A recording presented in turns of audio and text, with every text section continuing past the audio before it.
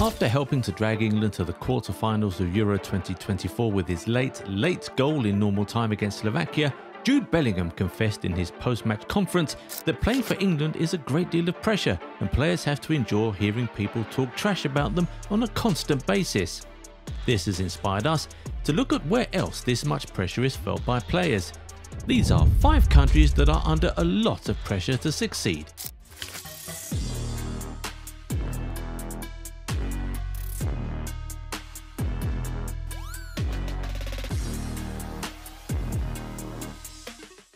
As expected, we'll start with England. To be fair, the pressure England is under is pretty understandable. They have never won the Euro since the start of the competition and have not won a major trophy in nearly 60 years. Every year the fans sing, it's coming home, but it never actually comes home. They came close at Euro 2020 when they played the final against Italy on home soil, but they ended up losing on penalties. Considering the amount of talent the country has constantly produced over the years, you can understand why the fans are running out of patience. On top of that, the Three Lions don't exactly play beautiful football under Gareth Southgate, so it's not like the fans enjoy watching their country play. This is another reason why they're under pressure to succeed, because only silverware can help the fans ignore the type of football the national team plays. Another team under a lot of pressure to succeed is Belgium. Just like England, Belgium have produced a lot of talented players across different generations, but they've never managed to win a major trophy in their entire history. They have reached finals and semi-finals but have never gotten to actually lift a trophy, and this is despite having the most stacked and perfectly balanced squad in international football for years. And from the way De Bruyne reacted to a question from a journalist about Belgium's golden generation after they got booted out from Euro 2024 by France in the round of 16, you can tell that even the players are feeling the pressure. And speaking of golden generations, Portugal is another team with a golden generation that must be feeling the heat. Yes, they finally won a major trophy for the first time in their history in 2016, but since then, they've been underwhelming and the fans don't seem very happy about it. Funnily enough, Portugal's golden generation started after they won the Euros in 2016, but that golden generation has not lived up to expectations at all. They got knocked out in the round of 16 of the 2018 World Cup and Euro 2020, and then got dumped in the quarter-finals of the 2022 World Cup. They're not even going far enough for fans to have some hope, so it's been very frustrating for the Portuguese. Also, there's a large section of the Portugal fans that think that Cristiano Ronaldo deserves to win another major trophy before he hangs up his boots, so there's huge pressure on the team to win Euro 2024 or the 2026 World Cup because we don't expect Ronaldo to still be with the national team beyond 2026. But not only European teams are under pressure, you know, the Brazil national team is also.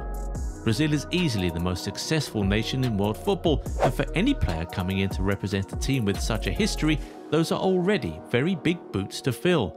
The Samba Boys have won the World Cup a record five times, but it seems like their glory days are now well behind them. Since Brazil won the World Cup in 2002, they've been very disappointing on the biggest stages. They got knocked out in the quarterfinals in 2006, 2010, 2018 and 2022, and when they reached the semis on home soil in 2014, they were embarrassed 7-1 by Germany. Because of this, the pressure keeps mounting on the Seleção, and for Brazil, it's not just about silverware, it's also about how they play. Fans have been complaining that the current crop of Brazil players no longer have the flair and individuality the Brazilian players of the past were known for, so the players are under pressure not only to win, but also to play beautiful football on the way. And it surely doesn't help that the country's legends aren't exactly given their full support. Ronaldinho said he won't watch Brazil at the 2024 Copa America, while Ronaldo said he'd rather watch tennis these days because he finds football boring. Crazy, eh? Finally, we have Nigeria. They call themselves the Giants of Africa, but the performances of the Super Eagles on the pitch have not always reflected that. They haven't won a major trophy in over a decade now and the fans are losing patience. They did recently get close, reaching the final of the 2023 AFCON, which went down in 2024, but they lost to the host Cote d'Ivoire. And then, what's followed is a rather disappointing World Cup qualifying campaign, which could see them miss out on the World Cup for the third time in six years. And add to that the fact that they've also failed to qualify for the AFCON three times in the last seven years, and it doesn't look pretty at all. On top of all that, they recently saw their biggest player Victor Osimhen fall out with and publicly call out the now ex-coach Finidi George, which shows that the dressing room might not be in top order. Also, one thing is for sure, their silver medal at the 2023 AFCON didn't do much to relieve the pressure on them because the Super Eagles have a habit of going far in the AFCON but never actually winning it. They have finished as either second or third on 13 occasions at the AFCON, but they've won the trophy only three times. Fans are tired of almost winning, and that's why there's now a lot of pressure on the Super Eagles to actually start winning. Are there more national teams you can think of that are under a lot of pressure to succeed? Drop some names in the comments.